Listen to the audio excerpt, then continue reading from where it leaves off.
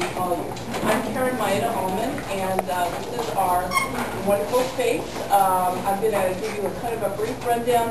Um, authors from Santa Stanislaus, Lake Washington Girls Middle School, and also Powerful Voices are here, and also parents, friends, and probably some members of the interested public. Um, some of the schools have chapbooks for sale on our table, and following the reading, there'll be some cookies and juice, and then for all the people that are reading today, we're going to give you a free sample book. Welcome, everyone.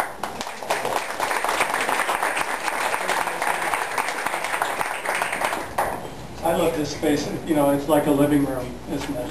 I love the uh, Elliott Bay program. Karen and I have been friends with. She's fed me books uh, to the library for years and years. About a year and a half ago, we wanted to put um, some poetry and some poets up on the stage.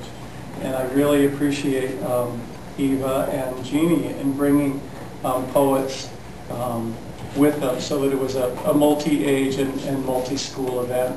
I'm a, I'm a librarian, Craig Seasholes, and um, the thing that librarians have as a driving mission is that it's our uh, mission to ensure that students are effective users and producers of ideas and information. And that drives my boat, and it's a thrill to watch these students produce uh, the words of inspiration from their own lives.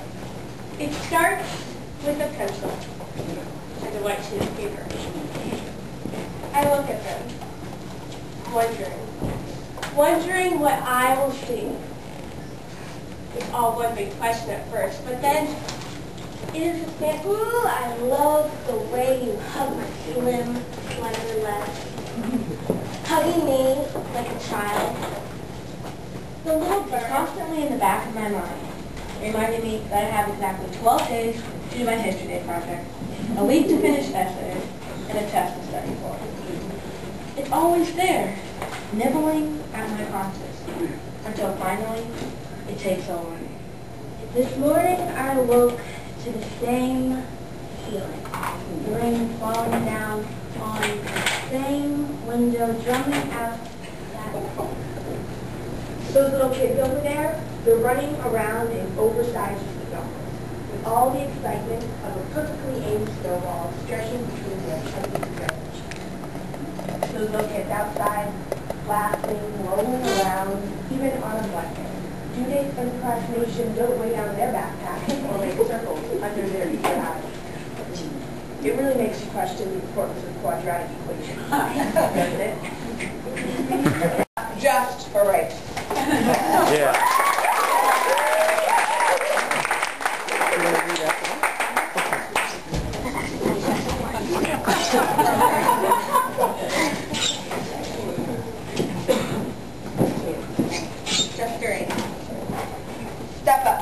on wobbly knees, promising to collapse. Take your mark.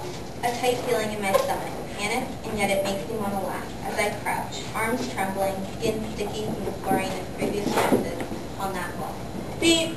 What an annoying sound. My only thought as I sail through the air, maybe half a second late. Powerful strokes pulling me. A stirring panic in my heart. Wouldn't it be better if I give up and not taste the bitter disappointment?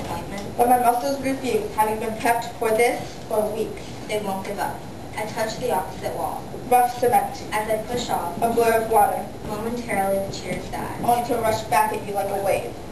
All my senses, Concentrating. all movement, Finally, rough cement. Relief and anxiety wash over me, momentarily clouding my vision. the cheers have turned from a powerful voice into the murmur of voices discussing the race. Quickly I look around. Who else is done? Why didn't I look sooner? A red blur sets itself on that stupid wall. Second, Not first. satisfactory disappointment. Just a race.